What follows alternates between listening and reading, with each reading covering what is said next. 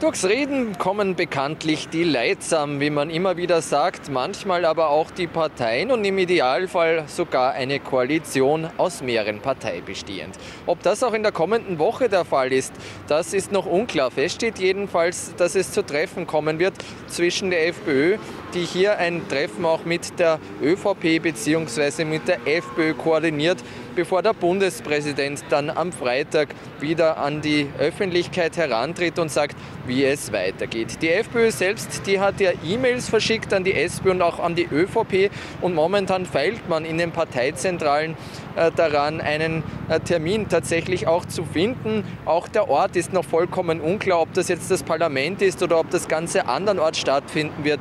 Das steht zur Stunde noch nicht fest. Fest steht jedenfalls aus Sicht der FPÖ, dass der Ort ein runder Tisch sein soll.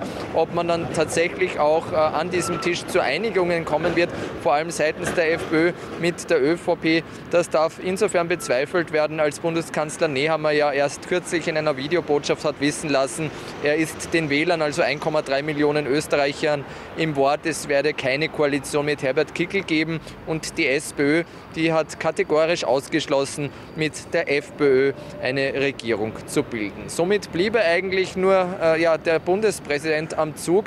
Der will allerdings noch etwas zuwarten. Wir sind gespannt, was die kommende Woche bringt und ob man dann schon näher ist, auch hinsichtlich etwaiger Sondierungsgespräche.